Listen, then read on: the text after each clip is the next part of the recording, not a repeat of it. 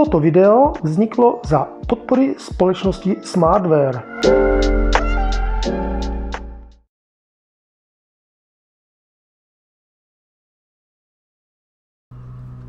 Právě jsem vybalil DJI Avata drona, motion controller, brýle a mám k tomu i klasický ovladač pro DJI FPV. Takže to bylo jenom teďka, abyste mě viděli a teďka se přepínáme do vlastního pohledu a podíváme se, jak jsme to rozbalili a jak to všechno nakonec dopadlo. Vítám vás u dnešního představení a vybalení DJI Avata. Opět zdůraznuju, díky společnosti Smartware mohu testovat DJI techniku a to nejen drony, ale třeba i kamery, včetně Action 2, kterou teďka právě tohle budu točit. No a dneska, dneska sice trošku se spožděním, ale samozřejmě už to mělo v rukou další testeří někde na Slovensku, tak Dneska se podíváme na obsah toho balení. Samotného mě zajímá jedna věc. Jestli mě k tomu poslali i klasický plnohodnotný ovladač, kterým se řídí vlastně DJI FPV, kterou už známe, anebo jestli tam bude jenom klasický motion control, protože v té chvíli já nebudu schopný s tím zaletět plně manuální mód. Nevadí, uvidíme, co nám e, slovenští kolegové poslali a jdeme se tedy podívat na obsah. Ten mě docela zajímá. E, tady už na mě kouká můj e, kvat, pětipalcový, ten mám jenom jako na srovnání oproti avatě, která by měla být kolem čtyřech palců. Tak, no, tak, máme tady, máme tady, o, teď se nám to celý sm, sesunulo, tak to zase takhle vezmeme, dobrý, a začneme to vyskládávat. Tady mám jenom náhled telefonu, aby bylo vidět, co natáčím. Takže, výborně, výborně, takže máme tady dvě krabičky. Tady vidím, vidím, že je avata samotná v tom balení, to znamená, tady bude pouze dron. Pak druhý balení máme brýle, DJI Goggles verze 2. A pak výborně neuvěřitelný mm, klasický ovladač. Víc tam nemáme. Tak to je dobrá zpráva, Smartware totiž myslí úplně, ale úplně na všechno. To znamená, je perfektní, že to takhle pěkně všechno poslali, protože v té chvíli můžu vyzkoušet motion controller, kde mohu letět pouze normal a sport s kompletní asistencí a pak můžu zkusit i vlastně tady ten eh, ovladač, abych mohl vlastně zalítnout si, tak jak jsou zvyklé i s klasickým mým pětipalcem, plný manuál, akromod a tak dále a tak dále a letět tou více jak 100 km rychlostí. Podíváme se na to postupně. Ten ovladač v podstatě ne, nebudu představovat, protože ten už známe z DJI FPV z klasiky, že jo, takže tady e, není potřeba ho představovat. Nicméně podíváme se nejdřív na drona samotného. Tak. Technické specifikace toho drona ty si najdete na stránkách DJI, klasika, tam v podstatě je to teďka jako novinka, to znamená, že tam najdete úplně všechno s tím, kolik to váží, ale rozhodně to má více jak 250 gramů, to znamená u tohoto drona je nutná registrace a splnění toho testu a nesmíte díky váze, která je více jak 250 gramů, letat nebo přeletávat nad nezúčastněnýma osobama, což s Mini 1, s Mini 2, Mini 3 Pro a Autel Evo Nano můžete. Tak, tohle je samotný dron. Tak tři palec to není ani omylem, čtyř palec to taky není ani omylem. Velikostně, no dobře, je to o něco menší než pěti palec. Takže nevím, hm, viděl bych to tak na čtyř palec. Každopádně oproti, oproti eh, klasické skládačce nebo oproti tomu FPV dronu, co známe, tohle je Signwoop, to znamená Cinematic dron, ochrany oblouky, tak, že když narazíte do nějaké překážky, přirozeně nemůže to být beton ve 100 km rychlosti, kterou ten dron určitě umí letět, tak pak to určitě něco vydrží. Jo? Prostě opravdu ta konstrukce je hodně, hodně pevná. Na první osah jsem příjemně překvapen. Tak, dron. Vrtule, který se už tady uchycují klasickým imbusem, nikoliv nacvakáváním. Ze spodu koukám, senzory, asistence, všecko tak, jak jsme zvyklí na přistání.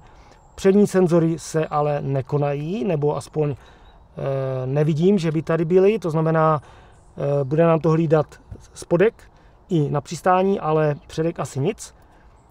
Potom tady máme takhle kamerku, která samozřejmě má rozlišení až 4K, myslím při 120 a její parametry opět najdete si to na stránkách DJI, koho to zajímá, ale rozhodně by to mělo mít víceméně parametry jak GoPro 10, s tím, že tam je plná podpora stabilizace, to znamená, je tam, je tam Rocksteady, už ve verzi myslím 3.0, je tam Horizon Steady, to znamená, že z toho dronu potom, a i když poletíte, tak budeme mít opravdu stabilní záběry, aniž byste to museli prohnat nějakým postprocessingem, jo, což si myslím, že bude mm, velice zajímavý. No, baterka. V podstatě baterka se takhle zapojuje a takhle se vysunuje. Tady se připojuje baterie, takhle vypadá, kapacita špatně vidím, ale měla by vydržet, nebo měla by vám dát nějakých 18 minut letu. Eh, no, domnívám se, že 18 minut letu papírově znamená tak možná 14 v reálu.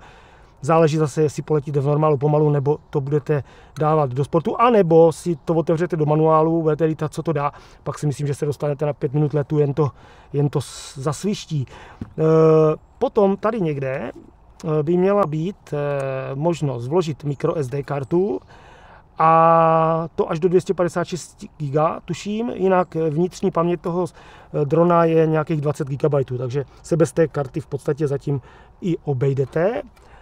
A koukám, koukám, kde by se to, jak by se to, myslím, že na to dojdu. A pozor, pozor, tady je to takhle pěkně schovaný. A je tam i micro SD karta, super, takže ji tam někdo nechal. A je tam zábořeně i USB-C na propojení drona, eh, na aktualizaci a tak dále, a tak dále. Plus můžete to takhle vlastně připojit celý k počítači a tahat z toho data. Takže to je super, takže to jsme na to přišli. A to je vlastně všechno. Baterie zase se zacvakne a takhle se ze spodu připojí. Oh, trošku to bude chtít cvik. Tak, ta ten náraz, ten náraz s tou avatou bude, by musel být tak velký, aby mě ta baterka vlastně vyskočila tady z toho celého plastového rámu, které je sám o sobě hodně pevný. Takže já, když tu baterku znova odpojím, oh, tak i tak prostě to nezmáčknu. Prostě ty plasty jsou fakt festovní. To vypadá, že to fakt vydrží v rukou i amatéra nějaký ten crash tady do nějakého stromku nebo takhle zalítnu do keře. Náhradní vrtulky určitě budou v balení, takže to by neměl být problém. Samozřejmě kamera je na, na, na, na gimbalu, Samozřejmě tady je to jenom nahoru dolů, aby vám to vystabilizovalo, pokud to v manuálu nezamknete naplno. No, vypadá to hodně zajímavě. Takže to máme dron, víceméně už asi víc k tomu nepotřebujeme. Zakneme, dáme do krabičky. Tak, dron bychom měli. A teď obsah krabičky číslo 2. Tak tady máme brýle DJI FPV goggles a verze 2. Pozor, oproti klasickým FPV brýlím jsou podstatně menší. Nepotřebujete nasazovat vůbec vrtulky, eh, pardon, nepotřebujete nasazovat vůbec antény, vyklopíte, jedete. A teď optika plně nastavitelná, dioptrie od minusu do plusu, jo, od minus 8 do plus 2, plus čočky, to znamená, kdo má e, vadu ve zraku, takhle jednoduše si to můžete vlastně krásně zaostřovat na jedno oko, na druhý oko, jo, prostě to kvituju. Teďka, když bych si to nasadil na oči, tak už teďka cítím, že na očích mě to bude sedět úplně bez problémů, žádný světlo mě do brýlí nejde, takže po této stránce si myslím, že to bude vyřešený. Váhově je to taky někde jinde, ale je tady microSD karta, super, to znamená, podle mě bude zase DVR, eh, záznamenávat nejen do těch brýlí, ale přes kabel to můžeme propojit s aplikací eh, DJI Fly, přes kterou ten stroj se pak i vlastně jakoby aktivuje, pokud ho máte úplně nový, tady už je uh, všecko zaktivované, protože je to display demo, který už samozřejmě lítalo.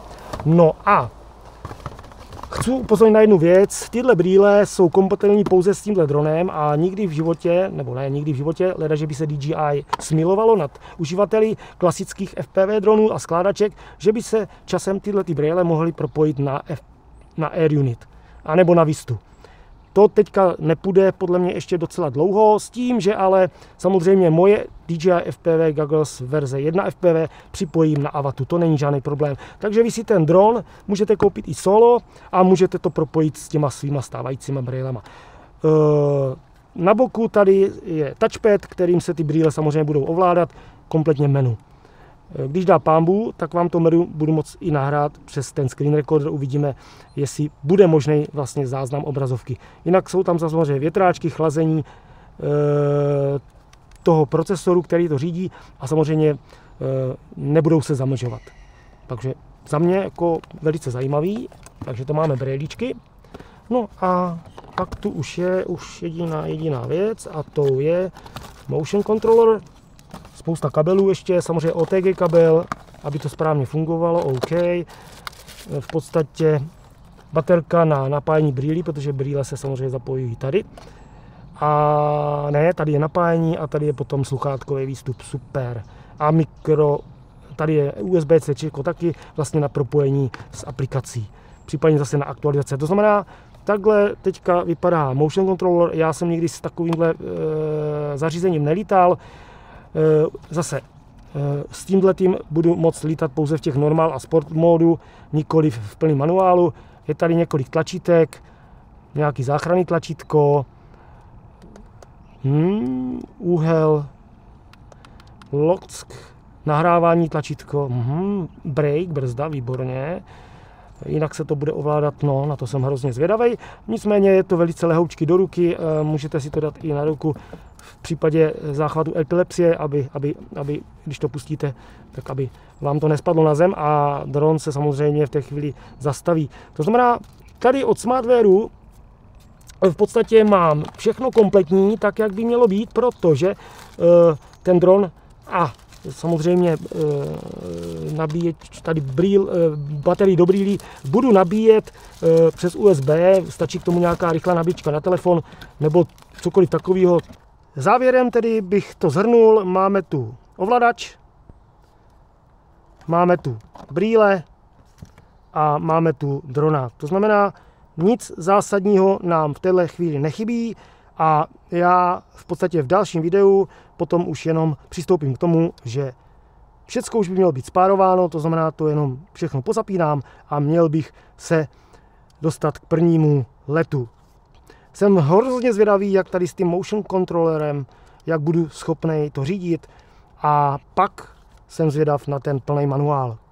Takže zatím díky za pozornost, děkuji společnosti Smartware za zapůjčení tohohle, no chtěl jsem říct drobka, ale on to drobek není a uvidíme se u dalšího videa.